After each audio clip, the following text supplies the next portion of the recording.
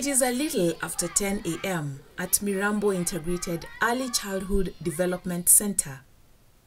Four and five year old school children are singing and dancing into their classes. In a few minutes, they will be starting their classes.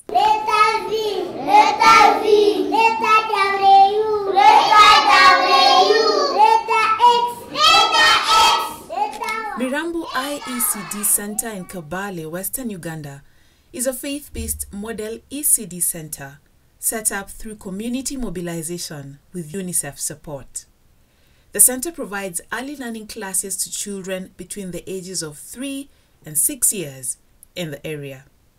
In Mirambo ECD Center, and for many children worldwide, preschool is your first experience in a structured setting with teachers and groups of children. It's an opportunity to learn to share, follow instructions, and begin the foundation for learning that will occur in the higher classes in school.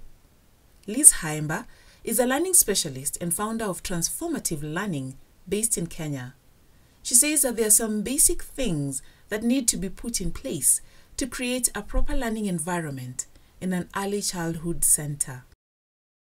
Smaller classrooms would be really good for children who are just getting into school.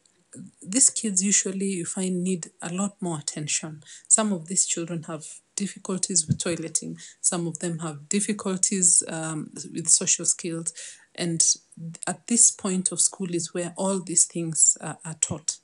So smaller classrooms would be much appreciated.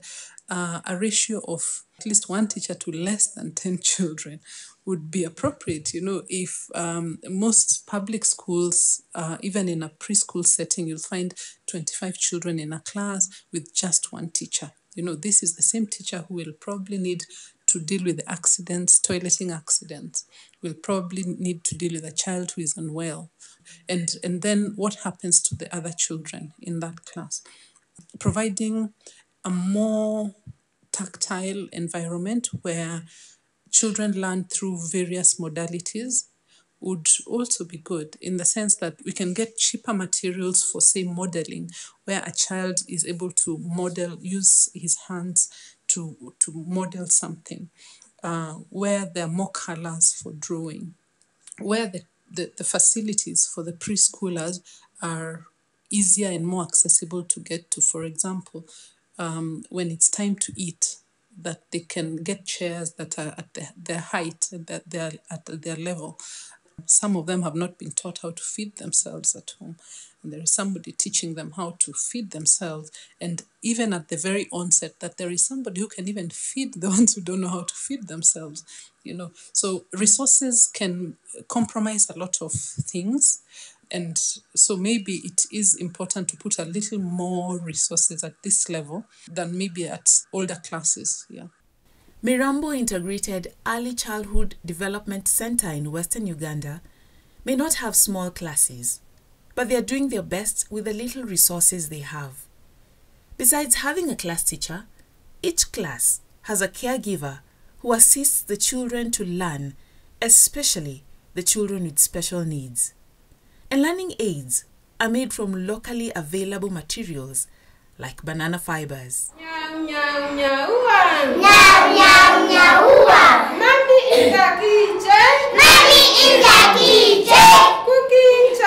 Cooking chapati. Cooking chapati. I like chapati. I like chapati.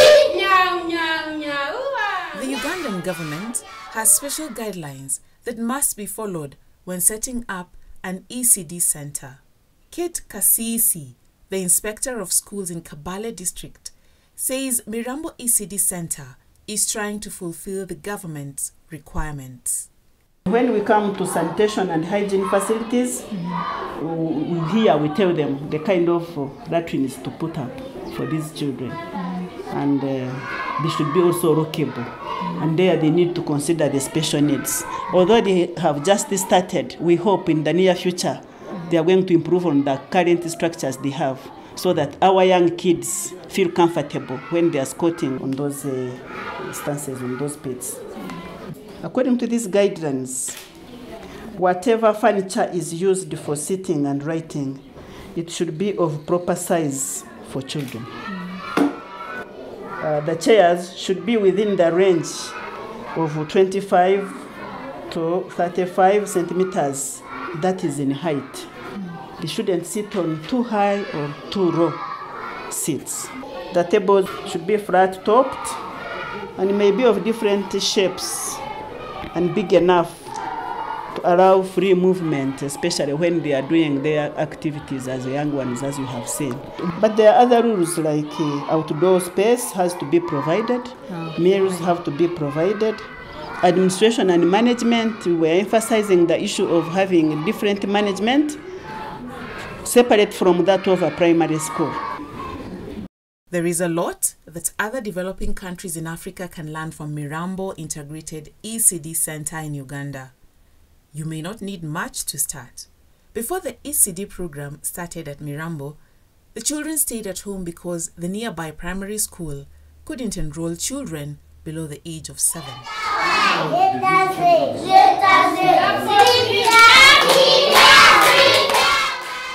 Now, children are excited come to school.